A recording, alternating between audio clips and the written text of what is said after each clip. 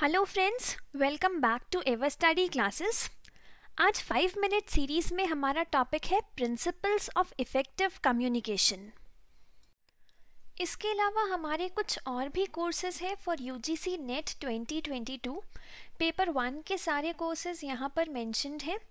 Paper two के courses जो कि कॉमर्स और मैनेजमेंट के लिए हैं, आप उन्हें भी देख सकते हैं। और पेपर वन और टू के कुछ कंबाइंड कोर्सेज भी हमारे पास अवेलेबल हैं। अगर कोई भी क्वेरी है इससे रिलेटेड तो नीचे दिए हुए नंबर पर आप हमें कांटेक्ट कर सकते हैं और आप हमें मेल भी कर सकते हैं hello at ever study dot in पर। तो सबसे पहले जानते हैं कि कम्युनिकेशन क्या होता है।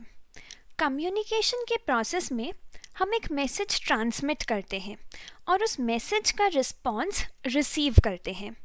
जो पर्सन मैसेज सेंड करता है, उसको सेंडर कहा जाता है और जिसके लिए मैसेज इंटेंडेड होता है, उसे हम रिसीवर कहते हैं। सेंडर के माइंड में एक आइडिया आता है, जिसे वो मैसेज के फॉर्म में कन्वर्ट करता है और उसको रिसीवर को भेजता है। फिर रिसीवर उस मैसेज का रिस्पॉन्स देता है और इस रिस्पॉन्स को हम फीडबैक कहते हैं। अब क्योंकि फीडबैक में एक और मैसेज कम्युनिकेट हो रहा है तो ये पूरा प्रोसेस एक सर्कुलर प्रोसेस बन जाता है। आज हमें बात करनी है इफ़ेक्टिव कम्युनिकेशन और इसके प्रिंसिपल्स की। तो हमारी कम्युनिकेशन इफ़ेक्टिव तब होती है जब रिसीवर को मैसेज सेम उसी फॉर्म में समझ आता है जिस फॉर्म और इंटेंशन के साथ सेंडर उस मैसेज को कन्वे करता है। सेंडर को तब पता लगता है कि रिसीवर को सही तरीके से मैसेज समझ में आ गया जब रिसीवर उसको अप्रोप्रिएट फीडबैक देता है। Now let's discuss the principles of effective communication in business. पहला प्रिंसिपल है प्रिंसिपल ऑफ़ क्लैरिटी कम्युनिकेशन किसी न किसी मैसेज से ही शुरू होती है। कम्युनिकेशन में बेसिकली हम आइडियाज़ और मैसेजेस को किसी दूसरे पर्सन तक पहुंचाते हैं। और अगर ये आइडियाज़ और मैसेजेस क्लियर ही ना हो तो सामने वाले को तो कुछ समझ ही नहीं आएगा। इसीलिए ये ज़रूरी है कि हम अपना मैसेज बहुत ही क्लियरली बिना किसी कन्फ्यूज़न के एक प्रॉपर चैनल के थ्रू कम्युनिकेट करें। नेक्स्ट है principle of objective message transmit करने से पहले कम्युनिकेटर को कम्युनिकेशन का पर्पस पता होना चाहिए। अगर पर्पस क्लियरली पता होगा तो कम्युनिकेटर प्रॉपर चैनल के थ्रू उस मैसेज को सही तरीके से आगे कम्युनिकेट कर पाएगा। नेक्स्ट है principle of understanding the receiver हम अपना मैसेज इसीलिए कम्युनिकेट करते हैं कि सामने वाले को पता लग जाए कि हमारे माइंड में क्या चल रहा है। लेकिन अगर रिसीवर समझ ही नहीं पाएगा कि हम उससे कहना क्या चाह रहे हैं तो कम्युनिकेशन का मेन एम ही पूरा नहीं होगा।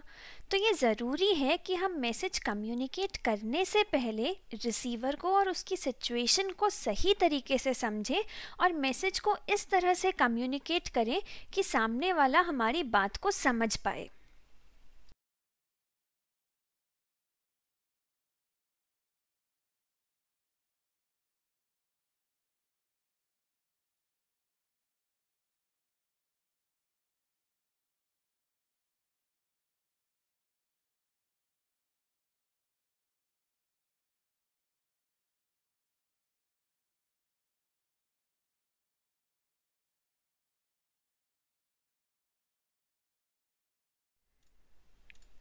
नेक्स्ट है प्रिंसिपल ऑफ़ कंप्लीटनेस अगर हमारे मैसेज में सफिशेंट इन्फॉर्मेशन नहीं होगी तो लोग उसे सही तरीके से नहीं समझ पाएँगे और उसके बेसिस पर कुछ गलत डिसीज़न ले लेंगे। तो ये ज़रूरी है कि किसी भी इंपॉर्टेंट टॉपिक से रिलेटेड सारी इन्फॉर्मेशन हम एक ही मैसेज में सही तरीके से कंपाइल करके कम्युनिकेट करें। नेक्स्ट है प्रिंसिपल ऑफ़ फीडबैक इस प्रिंसिपल के अकॉर्डिंग कम्युनिकेशन एक टू वे प्रोसेस है, जहाँ पर रिसीवर को भी अपनी बात कहने की अपॉर्चुनिटी मिलती है, क्योंकि रिसीवर को मैसेज समझना है और इंस्ट्रक्शंस को फॉलो भी करना है तो ये बहुत ही ज़रूरी हो जाता है कि सेंडर को पता लगे कि उसके मैसेज को रिसीवर ने किस तरीके से इंटरप्रेट किया है। सेंडर को रिसीवर के सजेशंस भी कंसिडर करने चाहिए। नेक्स्ट है प्रिंसिपल ऑफ़ टाइम इन्फॉर्मेशन को सही टाइम पर कम्युनिकेट करना ज़रूरी है।